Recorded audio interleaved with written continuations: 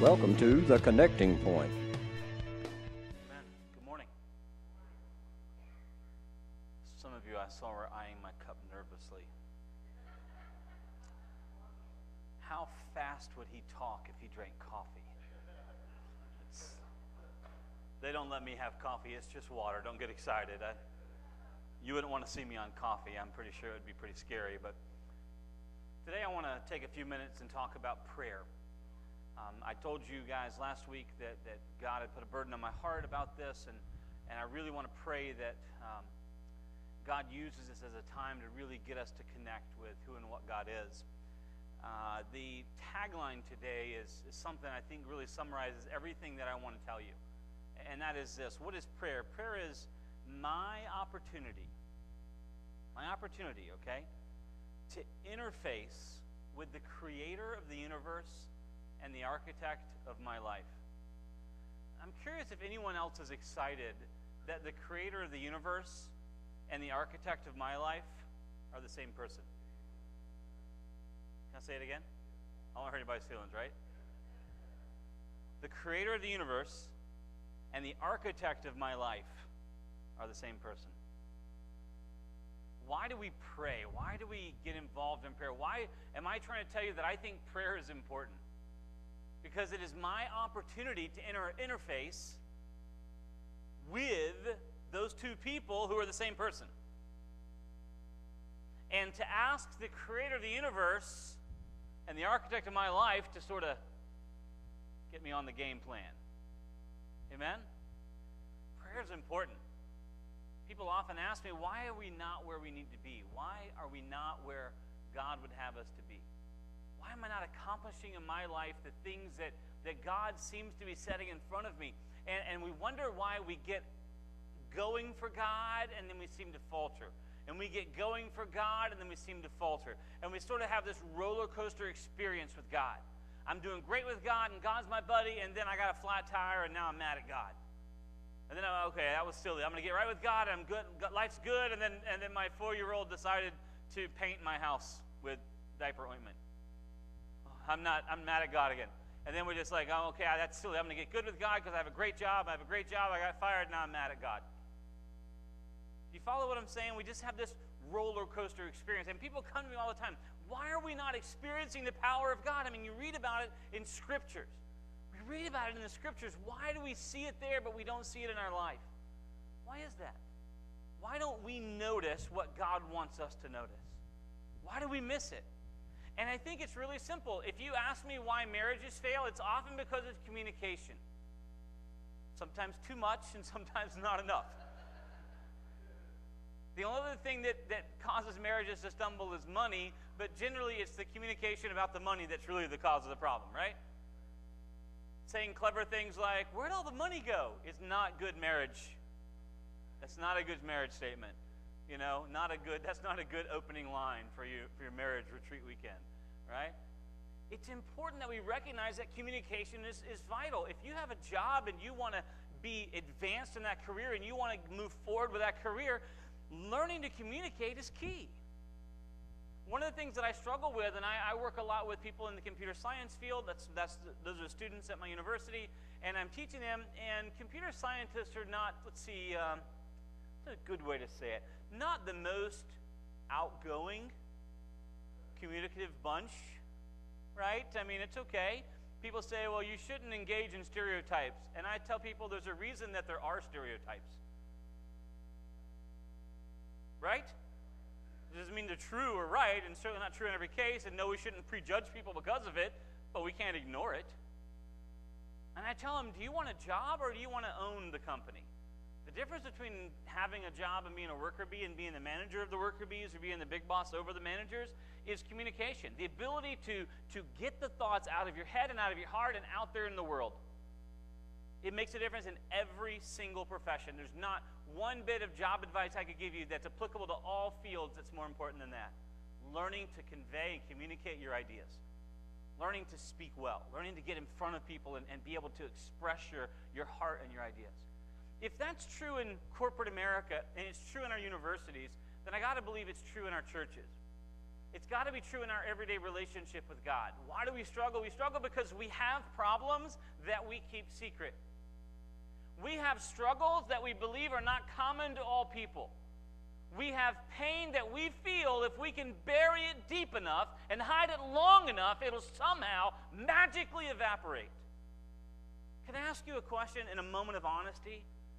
Have any of you ever found pain to magically just disappear on its own? When we bury it, what happens? It grows roots. It gets wider. It grows higher and stronger. It always causes more pain. Well, I don't want to bother people with my problems. Do you know what God said? Bug me. Just go right ahead. Bother me. In fact, the passage after the passage we're going to look at today is the, the parable of the importunate friend. The guy who just keeps on knocking and keeps on knocking and keeps on knocking until you get out of bed and answer the door. Right? Why is God saying that when he talks about prayer and then he uses that parable? He's saying, just keep asking. You will never bother me. Amen?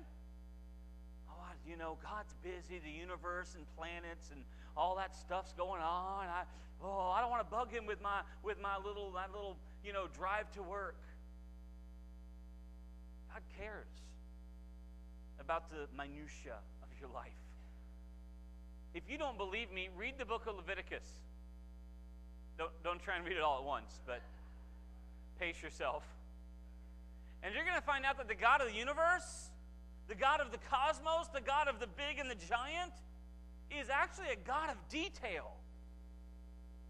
The curtain will look like this. It will be made this way. It will have this kind of fabric. It will have this many rings spread this far apart on this type of rod in this kind of place, facing this direction at this appointed time at the right time of year. What? The theme of the book of Leviticus is I got your back. I am a God of detail. God reminds us that, that a sparrow doesn't fall from the sky, but God knows about it. He reminds us that He numbers the very, the very hairs on our head, and, and that's an ever changing number. Amen? He doesn't just like figure it out at birth and that's what we go with that, right? I mean, it goes up, it goes up for a while, and then it, and then it, and then it, then it goes off for a while, right? As a buddy of mine used to say, I'd rather it, I'd rather it turn gray than turn loose. All of it is a sign of wisdom, man. Just go with it. Go with it think that we fail because we don't stop to pray. And God is so clear in Scripture that prayer is the key to everything. I just want to build this together just for a quick second. The disciples had seen a lot. The disciples walked with Jesus every day and they'd seen a lot. They'd seen healing. He healed the sick and the infirm. He healed the blind and the deaf. He healed the lame. They saw him walking on water. They saw him casting out demons. They saw him raising the dead. They saw him feeding the thousands. So much more. These guys witnessed everything that Jesus did. They saw all of these amazing miracles. And, and I remind you what we talked about last week. And I'm so glad that so many of you decided to embrace the crazy all week long. But, and, and it, it turns out I didn't get too much bad press about that. Mother's Day sermon called Embrace the Crazy. It worked out okay. But. You just had to be there, is what everyone said. You just, you just had to listen. It's okay. But, but it's interesting to see what happens when we embrace the crazy. We look at the things that are crazy in God's world are just the normal things. Right? Like jump into the furnace to find Jesus? I'm sorry, what? Right? Jump into the lion's den and hang out with God? Right? Jonah found Jesus in the belly of the whale? Right? I mean, these are weird places to go find Jesus. I'm not suggesting a change of venue. Okay? If the AC goes out in July, we might experience some of those things, but no, other than that, I think we're good. I'm just saying it. We sometimes think that the only place we, everything has to be perfect for God to show up. Life has to be perfect. And, and I've got to get everything aligned. And I've got to get my heart right and my head right and my life right. And if I'll do all of that stuff and get everything going correctly, and when my life is perfect, God appears. I'm going to tell you where God was that whole time. He was waiting for you in the valley. He was in the, in, in the pit of your misery. He was in your struggles and your trials and your hard times. And you missed God. You missed Him because you thought that God wasn't the lily of the valley. Right? I mean, you knew He's the bright and morning star, but you forgot He was the beauty in the dark places, the lily of the valley. You missed God because He was right there. He was walking beside you in those hard times when you felt like you couldn't go further and you didn't know. You felt totally abandoned by the world. You felt like there was no hope for you whatsoever. God was right there with you. Amen? I wrote a poem a few years ago called Footprints. No, I'm just kidding. I didn't write that. That'd be fun to say, though, right? just start claiming all the anonymous things. Hi, my name's Anonymous. I just thought I'd introduce myself. But you guys have read footprints, right? The one set of footprints was those times when Jesus carried you, right? And, and that's a beautiful, scripturally accurate picture. We feel like when we get our life together, then God's going to show up. But God was there the whole time. God is the only thing that can get our life to be perfect. It can never, ever, ever achieve perfection without God. We can never be in line with God. We can never be on task for God. We can never be serving God. We can never be doing all the things we're supposed to be doing without God. Amen?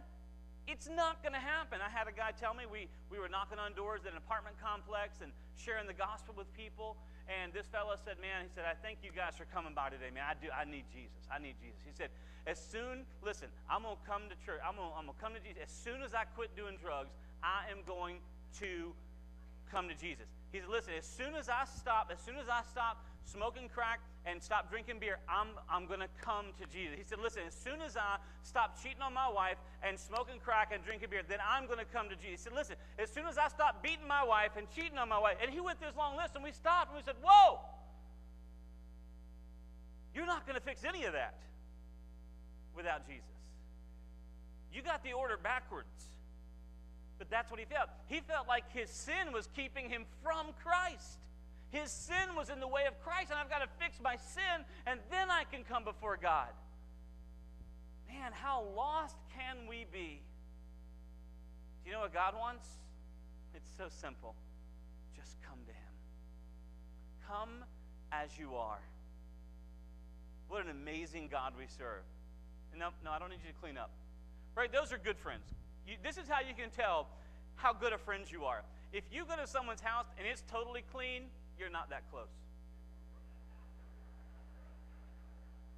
You are a guest at their house.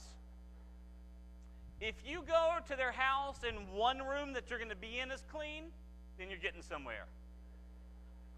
Can I use your bathroom? No. There's, there's a gas station not very far down the road. If you, no. If you go to someone's house and you're like, then you're friends. Amen. If you're stepping over toys, just slide the laundry off the couch and sit down, you're tight. When are we going to get it?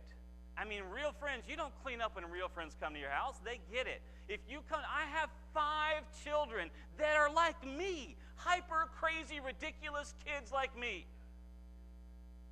If you come to my house, you better wear shoes. There are Legos on the floor.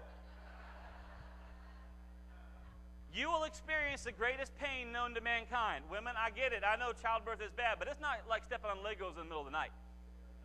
My wife, my wife agrees. She's had five kids, all natural. I'll tell you. She says, no, I'll take that over Legos through the foot at 2 a.m. any day. A close second is catching your pinky toe on the couch as you're walking by. You know that one? Or the door jamb, that, those are close feelings. You know, if you come to my house, that's what you're going to get, right? Our couches are uh, were nice at one point.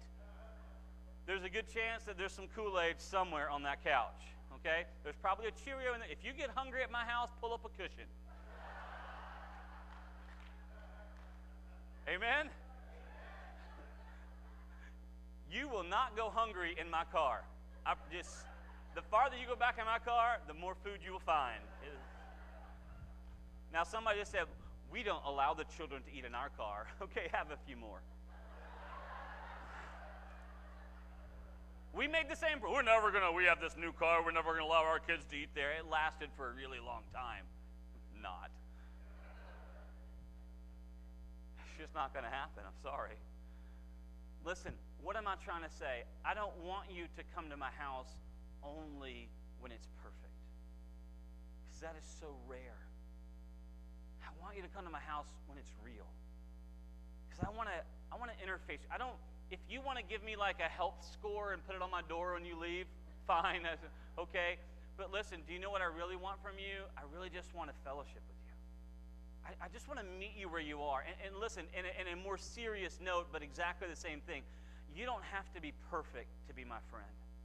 You don't have to have it all together to be my friend. Okay, like I say about your physical house, your spiritual and emotional house doesn't have to be perfect before we can start interfacing. Amen? In fact, if, you, if the way I know that you actually love me is when you allow me into your spiritual and emotional house when it's dirty. When you feel comfortable enough to come to me and say, I'm broken, I'm hurting, I'm in pain, I'm lost, I'm in anguish, I don't know how to go, I don't know where to go, I don't know how to do this, I need your help, I need guidance. That's when I know you love me. Amen? And you know I love you when I say, bring it on. I'm not afraid of your pain. I'm not afraid of your sorrow. I'm not afraid of your spiritual, emotional messiness. Doesn't bother me at all because I know Jesus. I know the cure. Amen? Fake perfect is the most unhealthy thing we do. Pretending, you know, you've heard me say the pretty plastic people, you know, you come to church, hey, how's it going? Glad to see you. So glad you're here. Yes, everything's wonderful. Yes, uh, we were almost late for church because all of our kids were doing their own independent Bible study before we got here. Yes, my son just finished up memorizing the Revelation. Yes, I know. We were a little late, but hey, it's okay. Right? I, have been a pastor of a church for a long, long time. And I'm, gonna, I'm just going to share with you a moment of sincere honesty, okay? I don't care how many kids you have, that's more than you can handle. Even if you have zero, it's more than you can handle, okay? The very idea of the thought of them is enough, right? But we live in the church parking lot. Our commute to church is a 100 foot walk across the parking lot, okay? And we'd still find a way to be late. It's a lot of hair and dresses and shoes, and you get one fix, and then the other one goes playing, and then they get it's just a lot. And there have been a few times when we've gone across the parking lot, Yosemite salmon. You know Yosemite Sam? right? You've all been there, right? Get your kids coming in. And we come to the door and it says, hey, hey, God bless you. Man, praise the Lord, hallelujah. Isn't God good? Woo, right? Is God honored by my fake? Is God glorified by my pretend? Never, right? I'm sharing with you guys a moment of honesty. And we're laughing together because we've all been there. But what I want you to hear is that I am where you are. I have, I've, not fi- I've not fixed this thing. I don't, I've not perfected life. I cannot do anything I need to do without Christ. I have been a Christian for like nine or, I don't know, 950 years or something. And I still can't make it one day without Christ. I am not growing more independent of His in, input in my life. I'm growing more dependent on His constant input in my life. And I don't want you to get in the perception that if you were a really good Christian, your life would work great. The truth is, if you were the best Christian on the planet Earth, you know what would happen? God would be talking to Satan about you. Yeah, that's right. Right? Have you considered my servant Job? Job's like, thanks. Thanks for that. The old bullseye right there, yeah. Right? I mean, at the end of it, and this is what he says you can have your way with him, just don't touch him. And eventually he says, All right, you can touch him, just don't take his life. Job says, Yet though he slays me, I will trust him. Wow.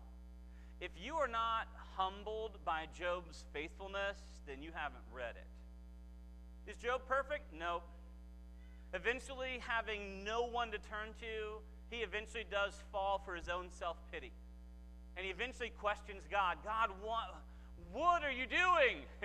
to which God gives one of the greatest replies ever recorded in Scripture Hey, Job, Where were you when I created the universe? Where were you when I brought everything into existence? Where were you? I am the Almighty. Don't you question me. Amen? I'm not promising you that when you become a really good Christian, you don't need God anymore. It's exactly the opposite. Becoming an awesome Christian means that you realize how frail and weak you are without Him.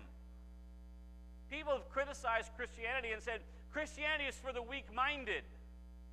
Well, I don't really know what weak minded means. In their context, I think it just means stupid. Maybe it means gullible. But if you mean that I have the self actualization, the self realization to say that I cannot make it one day without God, I'm guilty. I will gladly take whatever title you want to bestow upon me because I am 100% completely dependent on God's presence in my life every day. Why do we fail? We fail because we think we can fake God out. We think we can pretend to be good enough that God's like, oh, yeah, they're okay. And it's like when my kids clean their room. Let me hang that in air quotes. My wife, is what my wife says. Go clean your room. They go away, and she, you know, little Hannah comes back. Says, "I clean my room, mom." And my wife says, "Even under your bed?" To which Hannah replies,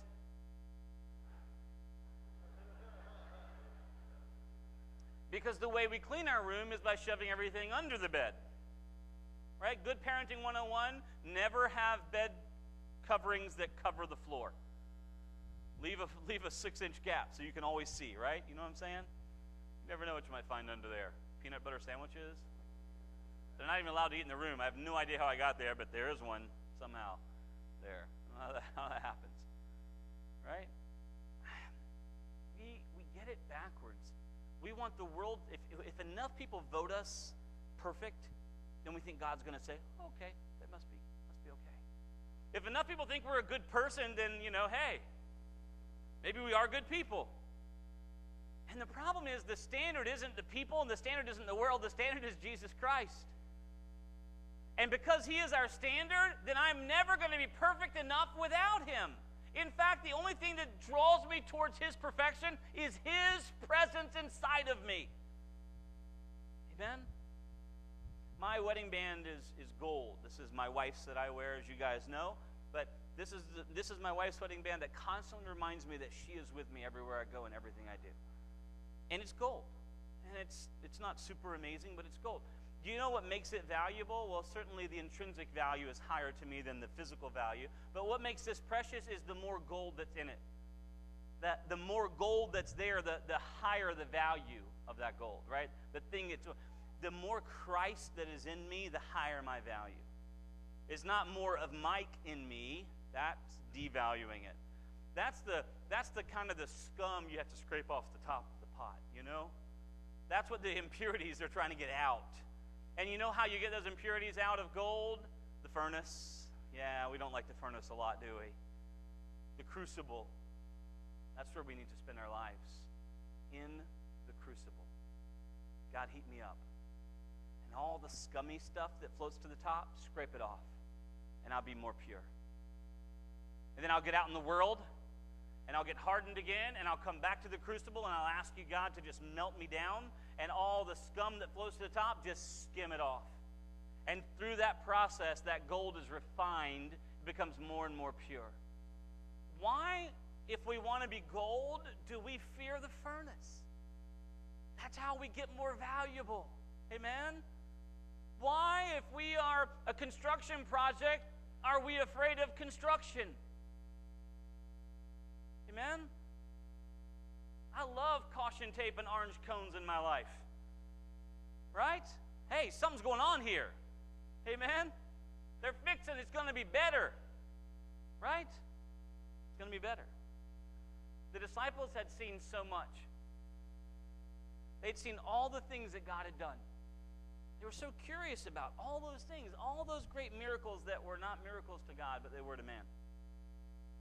But they didn't ask how to do these miracles. When the disciples had a chance to ask Jesus something, ask a favor of him, they didn't ask how to do these miracles. They didn't ask what they observed. They didn't talk about how was the power gathered. They didn't ask how the miracles were performed. They, they didn't say, why couldn't we do the same? Observed the miracles, it turns out they only had one question. It's Luke chapter 11. They only had one thing they asked for. Luke chapter 11 and verse 1 says, And it came to pass that as he was praying, Jesus was praying in a certain place. When he ceased, one of the disciples said to him, Lord, teach us how to pray. This is an interesting observation. When the disciples approached Christ and said, We want something, they didn't say, We want the power. Right? They didn't say, Lord, touch my hand and let me have the hand of an evangelist. Woo, glory.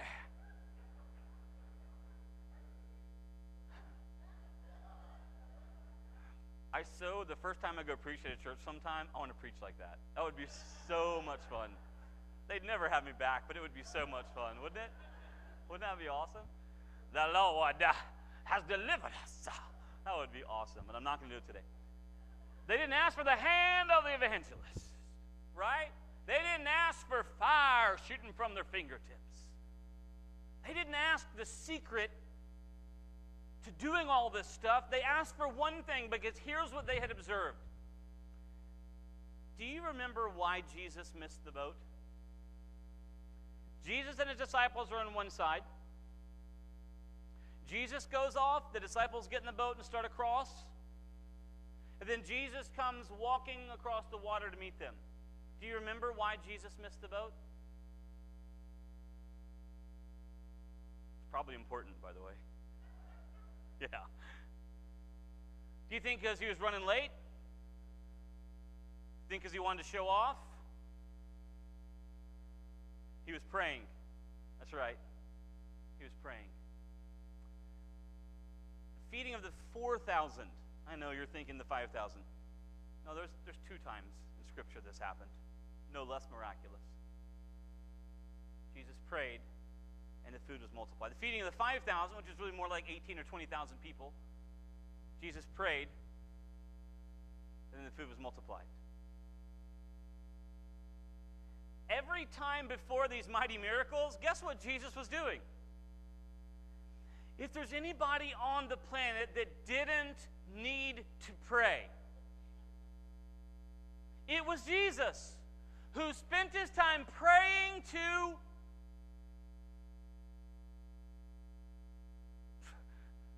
himself. We're not going to have a Trinitarian discussion here, are we? You guys know this, right? God the Father, God the Son, God the Holy Spirit, three and one, one and three, and the one in the middle died for me. We're good? Got it? Same God.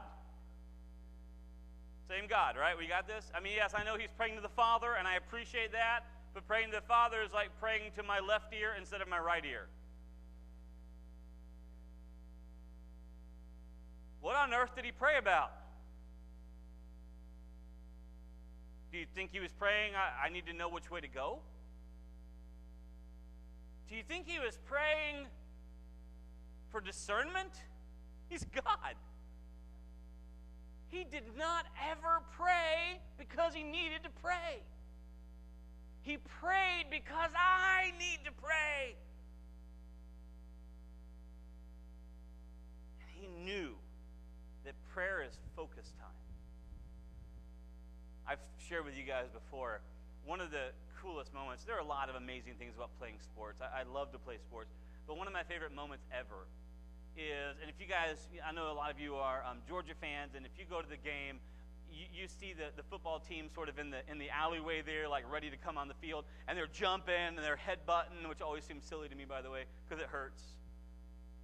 I, I'm just going to throw it out there. I don't care how tough you think you are. When you bang heads, it hurts. And you can act like it doesn't, but we all know you're not smart enough to realize it really hurts. They're slapping each other and they're hugging each other and they're bouncing. They're bouncing like, yeah, let's go. I love that moment. That moment of like anticipation of like, yes, let's get fired up, and they run out in the field, right? And everyone, it's amazing. Love those moments, right? And I used to do that as an athlete. I would always have some routine to psych myself up, something that was just like, all right, it's time. Right? Uh, some of you know I've done a lot of different sports. I've done some really ridiculous sports on top of all that. But one of them was springboard diving. I don't know why I did springboard diving. It's a whole long story, and we'll get into it some other time. But I got to be honest with you. When you're going to throw yourself 45 feet in the air over a pool of water that you really can't see very well, and you're going to spin and flip so fast that there's no human way you could possibly understand where you are, prayer is a good thing. Because you might not think, you might say something foolish like, oh, it's just water, and that means you've never done it. Because if you hit the water the wrong way, I assure you, you will not go, oh, it was just water. You will ask, did I land on the pool deck? But I would. I'd stop at the end of the board, deep breath, my mind right in the center where I needed to be, and my first step forward was always this one, right? And get going. Every play before football, I played linebacker. Linebacker has to watch the play, follow the ball, hit the guy, hit all the people in the way of the guy with the ball, right? Every play. Focus. Get ready. I played baseball. I love playing baseball. And every time before you step in the batter's box, you, you focus your mind. What Jesus wanted us to understand was that even as God, He's going to stop and focus. I'm just going to throw it out there. If he needed to stop and focus, pretty sure I need to. Amen? He knew that what was about to happen was that important. Of all the things the disciples could have gotten on fire about, of all the things they could have seen and understood, of all the things out there, the one thing they asked was, Lord, teach us to pray, like John taught his disciples. Teach us how to pray. Because what they saw was that God went away to pray, and then He came and did things that defied their ability to understand them. And they made a connection of prayer with power. But I want to make sure you understand something. We don't ever have to pray for power. Is that okay if I say that? Did I mess with your head now? Are we not friends anymore? Are some of you unfriending me on Facebook even as we speak? Put your phone away. Hold on. Let me finish. Let me finish. I don't need power. I need God. And when God is in me, and God, it's not power, it's presence. The presence of God is more power than I can understand. The presence of God is more than I can ever even comprehend. I don't need God's power. That's like saying I want something that I want God to stay far away and sneak his power to me. I want the presence of God. And the presence of God exudes power. Does that make sense? Amen? It's like the lights going out of the power plant. What? It exudes power. Presence of God. What do I pray for? The presence of God. And that is all the power I could ever handle. This is what God was praying. Now, some of you will get distracted in what we often call the Lord's Prayer. Let me just take a, a, moment to step aside and explain my personal belief about this. If you said, Mike, tell me about the Lord's Prayer, then I'm going to go to the Garden of Gethsemane. The Lord's Prayer is not my will, but yours be done. That is the Lord praying. If you want to know the Lord's heart on prayer, the Lord's prayer to me is not my will, but thine be done. Not my will, Lord, but yours. Amen? The model prayer is what we have here. Our Father which art in heaven, hallowed be thy name. Right? That prayer is the model prayer. So if it helps you to think that through, I just want to make sure we don't really want to say that that is what God prayed. Because the question wasn't, Lord, pray in front of us and let us listen. The, the, the request was, teach us how to pray. You see the difference there? But if you want to know God's heart on prayer, you have it from the book of Genesis to the Revelation. God has written His word over and over and over. You don't have to wonder what God's will is for your life, it is written right there in the scriptures. You want to know God's heart about prayer? Then you listen to the prayer at Gethsemane. Not my will, Lord, but yours be done. Amen? Let's read the prayer, the model prayer.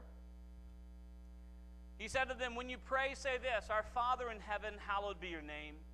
Your kingdom come, your will be done on earth as it is in heaven. Give us day by day our daily bread and forgive us our sins. For we also forgive everyone who has who is indebted to us. The same idea. Right? And do not lead us into temptation, but deliver us from the evil one. There is not one thing in the whole wide world wrong with that prayer. And if you recite what people call the Lord's Prayer in moments when you need God's presence, go for it. But let me make sure you understand something. It is not a mantra.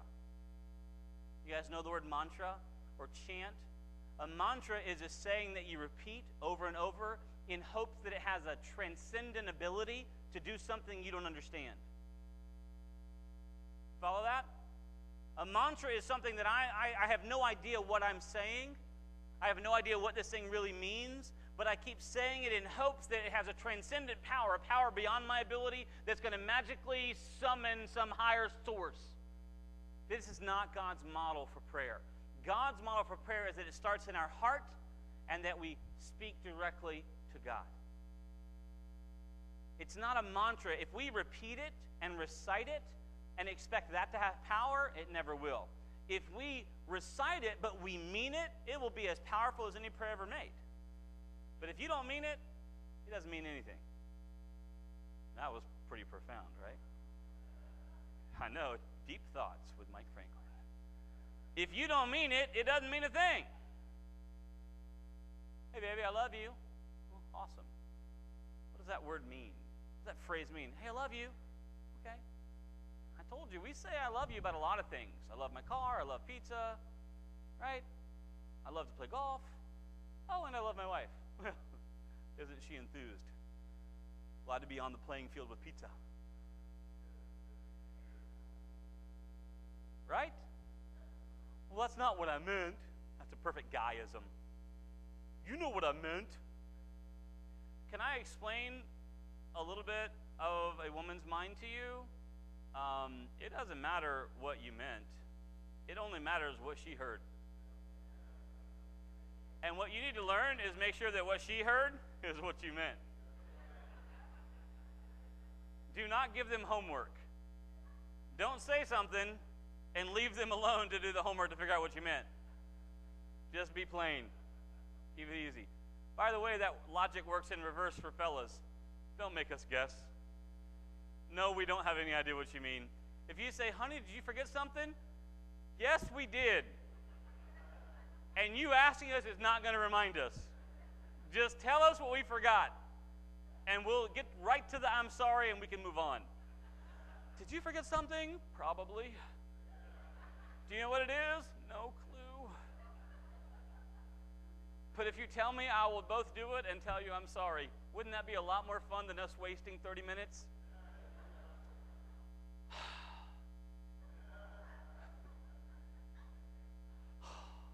I can't believe you can't remember. I can't believe you think I'd remember anything.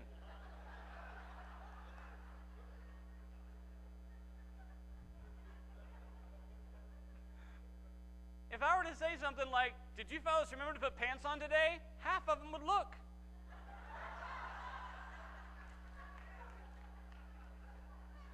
And you want us to remember something important? It's like asking a guy, What'd you have for breakfast? I don't know. It was good, but I don't remember. And you want us to remember really important stuff? Like things like this, like, Did you remember to bring the kids home? Were they with me?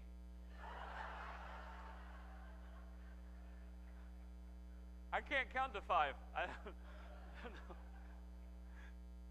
we are simple minded creatures. We have good hearts. Give us a break.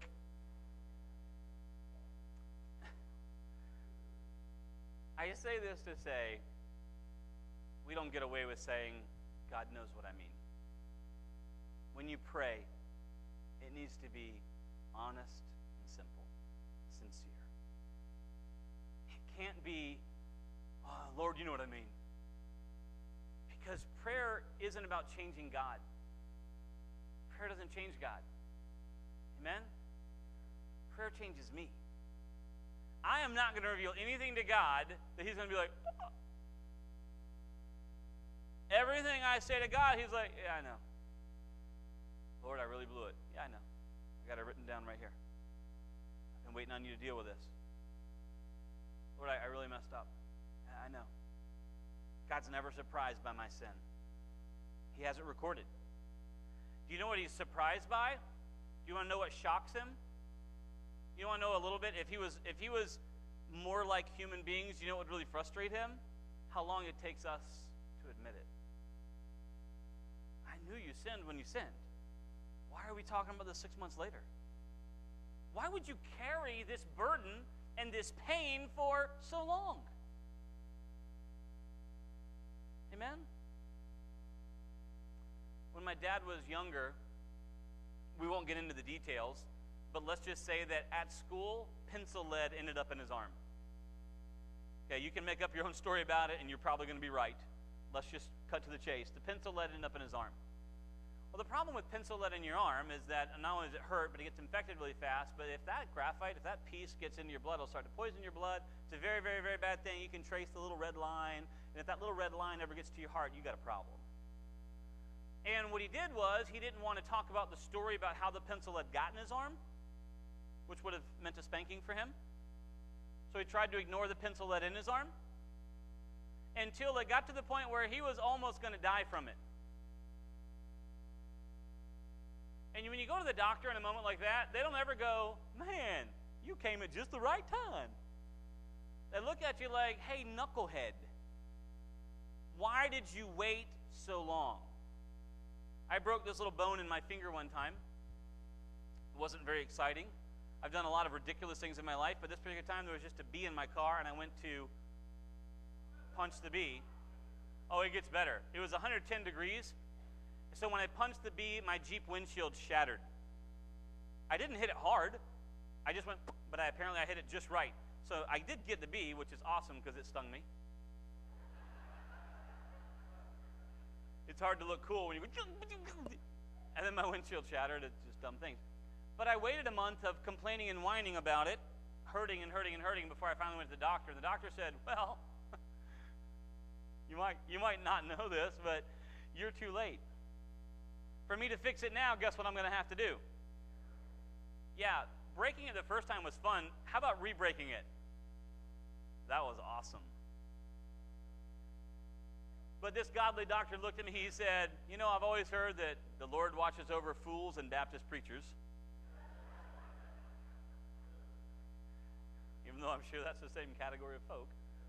He says and it is healed exactly right. So you're, you know, God's looking out for you, but if it hadn't, you'd have just had this pain forever, right?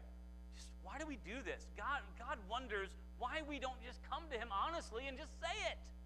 Why can't we just come to Him? How do we pray? Well, let me read a couple of passages. Philippians chapter 4, verses 5 through 7. Let your gentleness be known to all men, the Lord is at hand. Be anxious for nothing, but in everything with prayer and supplication let, with thanksgiving, let your requests be made known unto God. And the peace of God, which passes all understanding, will keep your hearts and minds in Christ Jesus. Amen? How do we pray? Honestly, openly. We don't, we don't hold back. And we pray with thanksgiving. Let me read 1 Thessalonians chapter 5, verses 16 through 18. Rejoice always, pray without ceasing, in everything give thanks for this is the will of God in Christ Jesus for you. I get asked by some of you to pray over hard things. Some of you have come to me and said, I'm in this terrible situation, this is going on. Will you pray with me? And you've probably noticed that in that prayer, I thank God. And I'm willing to bet that some of you were like, dude, for real? Because what we're praying about is super serious and you're really upset and you're really worried. And here I am thanking God for it. You're like, hey, same team, buddy. Right? But I am forced, constrained, compelled to believe the Bible is true. And when God says to pray with thanksgiving, I'm going to tell you what I'm going to do. I'm going to pray with thanksgiving. Now, sometimes I'm thankful for all the other stuff that isn't wrecked in my life. Amen? Sometimes I'm thankful for the ability to pray to a God who's actually listening to me pray about the thing I'm about to pray about. Sometimes I'm thankful for a lesson that I'm going to learn through this horrible thing that I pray comes quickly so I can move past it. But I'm always thankful. Not fake, but genuinely. Many times I've started off with a prayer request in my own life where I needed, I needed God's hand in my life, and I began to pray, and I started by thanking Him for all He's done in my life. And honestly, by the time I finished thanking Him for all the great stuff in my life, I could not remember for the life of me why I started praying. God was like, check mark. Amen? Done. That was easy. Sometimes we need that perspective. Even when we're going to God about hard things in our life, when we enter into it with thanksgiving, it's amazing what God will do in our life. God, I don't like this at all, but I still thank you for it. Amen? I was thinking about an example of this. It's the way we drive when a police officer's behind us. What? Wait, wait, why are you laughing? You should drive exactly the same way. You're thinking, oh, great, there's police behind me. You know what he's thinking? Could you just get out of the way? Could you just really just skedaddle? I want to pull you over to get you out of my way, right? Just move. Why, why should it be different, right? But it is the truth of it. We should be thankful, right? We should be thankful. I'm glad if something happens, he's right behind me. Right there, ready to go. It's cool. And in fact, if he pulls up beside me, I can point out some people he needs to go talk to. I'm helpful like that. They, they actually don't need our help either, by the way, just so you know. When we pray, let me tell you a couple things that we need to do. First, we need to be honest. I don't know why we try to lie to God, but we do. God's never going to be impressed with our act. He's never going to fall for our lies and all we're going to do is have ineffective prayers. If you say, God, I know you're up to something and I trust you, but you don't actually trust Him, God's not going to believe you.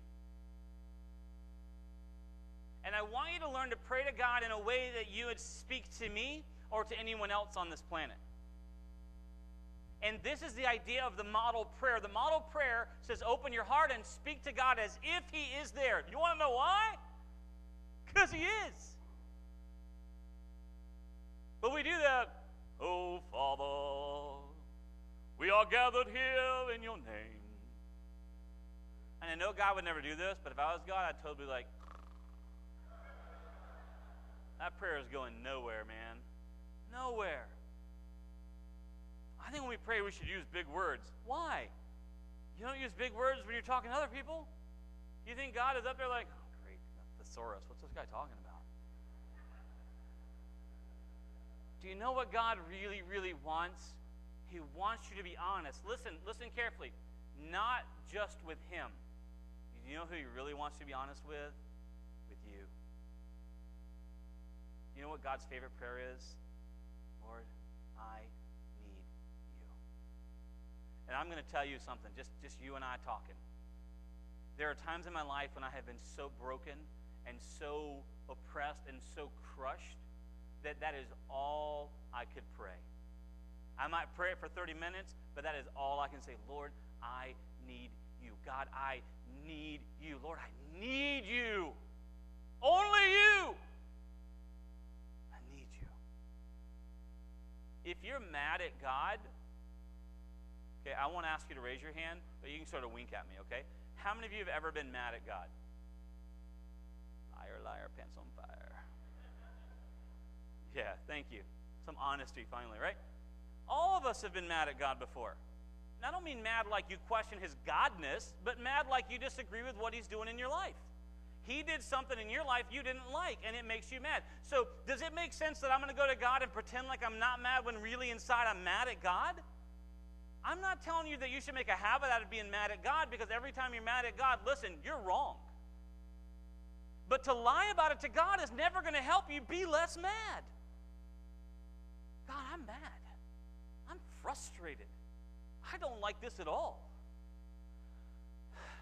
But I trust you. Amen? I don't mean to call it out, but God will honor that prayer. I, how we waste time with God. We spend 30 minutes in prayer when we could have said what we needed to say in two seconds if we'd have just been honest. Number one prayer rule be. God already knows everything you're going to tell him. You don't need to fake it and pretend. You don't need to pretend to be really spiritual. Lord, I know this is the trial you're putting me through, and I'm going to learn a wonderful lesson. If you don't feel it, don't say it. You may know those things, but right now, Lord, I'm frustrated. But I trust you. Amen? I trust you. Be honest. The second thing is to be grateful. Hey, God, thanks for being here. Hey, God, thanks. Thanks for listening to me. God, thanks for all the amazing stuff you do in my life. I'm frustrated right now. I'm really, I'm really angry, and I'm actually angry at myself for being angry at you because I know how silly it is. But I'm not going to pretend like I'm not. I'm just going to say, man, I don't get it, Lord. I don't get what you're doing. I see godly people get, doing godly stuff and bad things happen, and I wonder, what's up, God? I don't get it. It doesn't make sense to me. But you know what, Lord? I'm going to trust you. Those are real prayers from my heart. I am voicing out loud real prayers from Mike's heart. That's how I pray. And, if, and those of you who've prayed with me, you know that when I pray, I'm honest. And I'm just going to lay it out there, but I'm always going to be grateful because God's an amazing God. I, I met up here with a, a, a lady for two weeks, and we prayed together over something that crushes my soul. And God didn't answer the prayer the way we wanted it answered. So the next week when we were praying about it going the wrong way, we didn't we're like we didn't I didn't try to be honest. I mean I didn't try to fake it out and say like, Lord, I know in your grand scheme things work out. I was like, man, this isn't the this isn't what we wanted. But I'm going to trust you, God, that you're going to get glory out of it. I pray for this person. I pray for this decision that God you'll get you'll you'll figure it out. You'll teach and learn and help us to be patient and understand that it doesn't always go our way. Amen? Be honest, be grateful, be thorough. I'm always leery about this because some of you are closet prayers. Some of you can pray for an hour. I'm just going to tell you, this is just me loving on you. That is so awesome, and you are my hero. I am not an hour long prayer. Have I ever prayed for an hour? Yes. I have prayed for two hours solid without taking a breath. I have. But that is extremely rare. For me, I am succinct. I'm just going to cut right to it. I have learned to be honest, and when I've learned to be honest, it cuts down on my prayer time. I just get right to it. But I'm a constant prayer. Now, I might not pray for one hour without taking a break because my brain doesn't work like that, right? You guys see me, you're like, blah, blah, blah, I know. That's my brain all the time. This is me being calm. I am faking you out. This is looking calm, right? My brain is going, I promise you. I would have eight zillion different thoughts in the middle of an hour long prayer. If you are in one hour prayer, God bless you. I need you. Pray for me, please.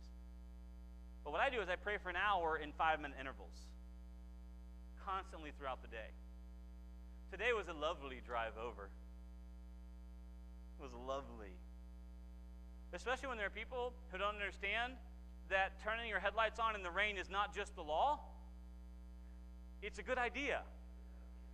We cannot see you. Turn on your lights, man. It's not that hard. Really? Deep breath. Cleansing, let it go. I prayed a lot on the way over here. I prayed for myself. I prayed for the service. I prayed for a lot of you guys individually. I prayed for Brother David always. Right? I prayed for my Sunday school teacher. I prayed. I prayed. All right? I prayed all the time. And then I, I prayed for my fellow imbeciles driving beside me and around me. I prayed for them a lot. A lot. They're short prayers. So when I say be thorough, cover the topic, but don't drown it so that you lose focus. God, I'm here to do business. Amen? I'm here to do business. I, I need you. And I want to come before you. I'm not saying be short. Don't confuse those two things. Be thorough. I'm, I'm actually arguing that you should pray as long as it takes for you to be honest with God and be grateful for all He's done for you. Be humble. I am a servant. We've, we've gotten used to saying the word servant. The word is actually slave. And we're so, like, the word slave grinds on us so much that we don't like to say the word anymore.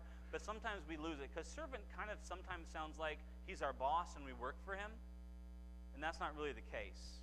He is my owner, he is my master, and I am his slave. He owns me. I was bought with a price. So I want to make sure that I approach the throne of grace. Now, I know the Bible says boldly, and I do boldly because I know I have access through Christ to the throne of grace, but I don't ever want to come saying, God, you know what you need to do in my life, so get on it. I know some of you are like, I would never do that. Liar. We've done it. Lord, that person needs a little divine intervention. You need to teach them a little what's what. We've done it. We've done it. Don't pretend like you haven't. Oh, I've never done that. okay, you need to pray now. We'll stop. We'll wait while y'all pray. Be humble. God, I need you. I can't make it without you. I can't see without you. I you. And finally, I know you wish I could. Can we delete this last bullet? I don't really look. We can't, it turns out. Be patient. How many prayers does God answer on a percentage basis? 100%. It's a bold claim. God answers every prayer?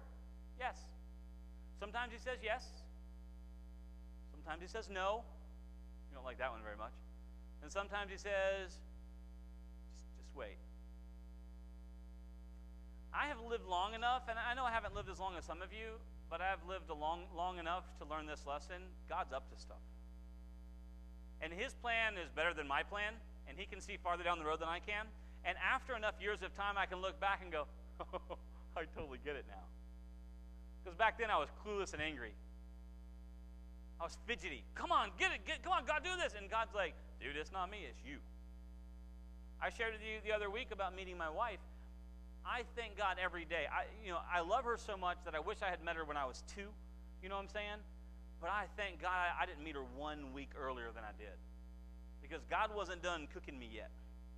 I wasn't ready. She'd have been like, right? God, I mean, I'm not saying I was pretty far along. I'm just saying I was a lot better off than I was before. So that when I met her, I was ready. She was ready for me. I thank God for that timing. Do you follow what I'm saying? But I think, oh, I wish it had happened earlier. I wish it had happened sooner. You know what? I'm glad it happened exactly when it happened. Our anniversary is coming up. In fact, it's, it's Tuesday. So any of you want to text me and help me remember that, that'd be awesome. I'm, I'm just kidding. I won't, I won't forget. I'm just kidding. We've been married. We have been married for 19 years on, on Tuesday. Uh, we dated for three years before we got married. Uh, we dated for a year, and I gave her a promise ring, which is kind of an old, old way to do that but to say, you know what, after a year of dating you, I want to talk about marriage. I don't want to ask you to marry me yet. I want to talk about it and pray about it. But I want to have an open conversation. So I gave her a promise ring to say that's what I want to do. We spent a year praying about marriage and making sure it was God's will for our life. And we felt like our decision point was when we felt like that we could do, and this I'm talking about prayer, right? Just honest prayer. Because I wanted to marry her the day I met her. Like, Lord, what time's the courthouse close? We're at Chick fil A, and I'm, I'm good. I'm sold. She's eating Chick fil A with me and holding my hand when we pray. Done. But I, I said, I, you know, I, my honest prayer was, God, I don't want to get married to her until we can do more together than we can apart. If we're serving you better not married, then we'll wait. And we waited until both of us agreed in our hearts that we could do more together for God than we could apart. Make sense? So we waited we waited. Three years. That's, a, that's like an eternity for people nowadays. But it was an investment in our life. We knew we were going to get married the first date. It wasn't like we doubted or worried. We knew. We tried to pretend like we didn't for a while, maybe, but we knew. So that whole time we knew we were getting married. It was never like that. Being patient, not my skill set, by the way. like, duh. Being patient made it so that every moment of our marriage has been amazing. Even the hardest times that we've gone through have been incredible. Because there is one thing we never doubt, and that is that God brought us together. Because we gave God time to cement our hearts together. There's a process in the Bible, it's called weaving of the heart. This is what God did for my wife and I. He took us stitch at a time, stitch at a time, and bound our hearts into one. And we never have to doubt that. If we'd rushed into it, we may have doubts and worries. Many of you can attest to that. Many of you got married really fast and then you had doubts and worries, and maybe you're still married to that person, but you had that season of, ah, and did we maybe, and we should have, I don't know, should, should have thought about this. Be patient. God's working on it. And God's timing is just as important as God's will. Amen? I say it all the time, and I don't mean to repeat myself, but the parting of the Red Sea would not have been nearly as cool one day earlier. Amen? It wouldn't have been nearly as cool one day later.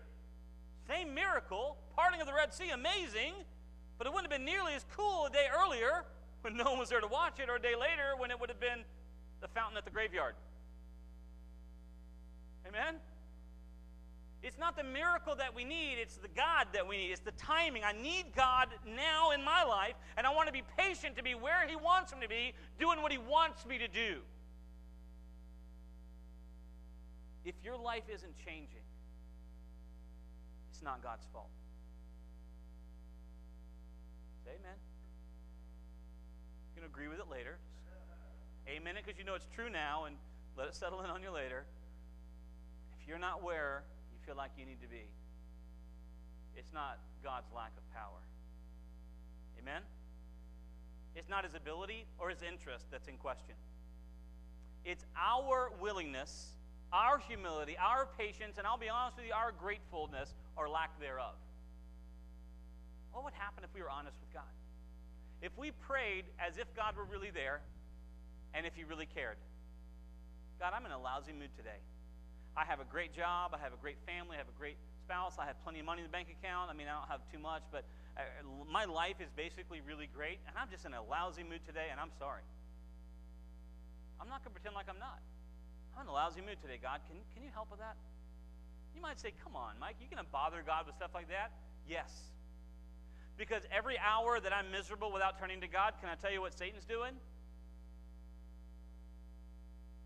He gets excited. When I wallow in misery, Satan owns me. Right? It's a shame, but it's true. Yeah, I, bug God all the time. Silly stuff. Little things like, you know, Lord, I'm not asking you for divine intervention for this test that I'm about to take, although I'm not opposed to it. But I pray, Lord, I've worked hard and I've studied. God, could you just rec- help me to recall? That's a good prayer. Amen? I'm not saying, God, I blew it off and I didn't do anything for two weeks and now I want you to, oh, right? God, could you help me remember what it is I'm supposed to do God, could you open my eyes? We were talking about benevolence a little earlier. I walk through the cities of Atlanta, downtown all the time, and there are people always with cups out jingling for change. And, and I'll be honest with you, as a Christian, I have a huge struggle with that. I have a huge struggle. Because I know, I know, some of you are like, oh, they're just ripping us off. You know what, though? What's a dollar to you? I mean, if a dollar is keeping you out of the poorhouse, then what were you doing downtown at the Braves game anyway? I asked this question, Lord, that's what I asked. I said, God, I can't discern who's telling the truth and who really needs it and who doesn't. But you do know. And so, God, I pray for an instant compassion in my heart. And I will tell you that there are people that I walk past as coldly as if I didn't see them. And there are people that I stop and engage, and people think, why on earth are you talking to that person? Because I say, God, I need you to decide for me. Is that a silly prayer? Maybe it sounds silly to you, but for me, it's just about being honest. God, I don't know. I can't tell. There's too many cups jingling for change. Amen? How do we decide who to help? Hey, you know what? How about you help me, God? Have I ever gotten swindled? Probably. Probably. But you know what God does with swindlers? If you give that money in God's name to do God's purpose, oh man, it haunts them forever. I'd spend $20 any day to have someone come to know Christ as their Savior. Amen? You can't swindle me because it was a gift. Oh, they probably used it to buy alcohol. I bet it burned the whole way down, too. I bet they've never been so sick. As, as, as Mama would pray, I pray that they get sick as a goat. I don't have any goats, but apparently they get really sick all the time. I don't know. but that's what she'd say. If they do it, Lord, if they do it, I hope they get sick as a goat. That's all right, isn't it? That's honest prayer, isn't it? Because you know what she meant by that was, hey, even if they try to trick me and they go buy alcohol with this or whatever, use that to reach into their lives. Honest prayer, simple prayer, Thank you for joining us today. We want you to know that you are always welcome at the summit. We are located on Highway 81 south of Loganville. Sunday school is at 9 a.m. and worship is at 10:30 a.m. For more information, you can visit our website at thesummitchurch.com.